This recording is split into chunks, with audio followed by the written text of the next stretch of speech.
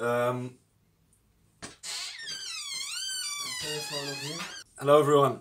I'm uh, I'm Jasper. I'm 20 years old, and I'm studying global sustainability science at Utrecht University. I'm sure most of you wouldn't hesitate to call me a Dutch guy, and you wouldn't be wrong, but it's not the whole truth either.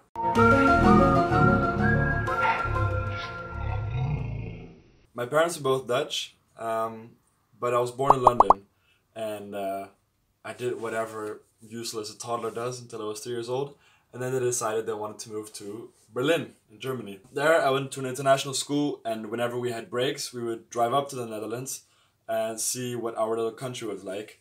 So mostly it was bikes, more bikes, cheese, tourists in Amsterdam, German tourists on the beaches, uh, more bikes, and especially a whole lot of flat land everywhere you look, um, which is of course great for the cyclists. So when it was time to find universities, I was already naturally inclined to move to the Netherlands to see for myself what life is like as a Dutch lad, especially as a Dutch student.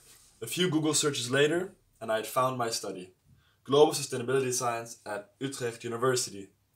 In the surreal year that followed, I packed up my life in Berlin and moved to Utrecht almost three years later, and here I am making my first vlog for the university. I'm hoping to show you all of what I've learned in that time, what kind of places you can visit, and how it is to actually be a student in Utrecht. I will also show you the libraries, of course.